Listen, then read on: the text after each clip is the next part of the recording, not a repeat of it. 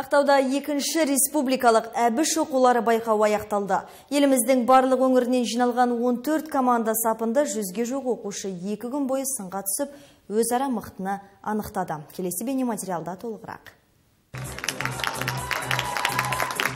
Мәнерлеп оқу сайысында бірінші орынға алматылық оқушы Ағниет Қажымұрат ие болды. 10-шы сынып оқушысы байқау барысында абыздың қанша дария қиқаясы мен қызғыштың әні өлеңінен үзінді оққан көрермен мен қазылар тарапынан ерекше ықыласқа ие болған Ағниет өзі қатарлық 15 оқушының арасынан озып шыққан.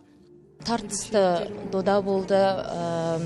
Әрбір облыс әрбір оқушы мықты дайындалып келген.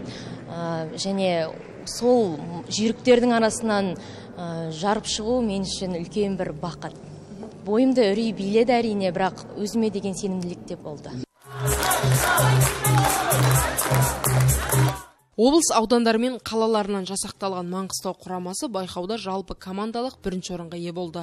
Жергілікті құрама сапында сынға түскен оқушылар сахналық қойылым және ғылыми жоба аталымында бірінші орынға ие болса мәнерлеп оқу мен иллюстрациялық сурет бағытында үшінші орынға ие болды. Әбіш туған өлке әбішті тану әбішті таныту бізге үлкен міндет әрі парыз.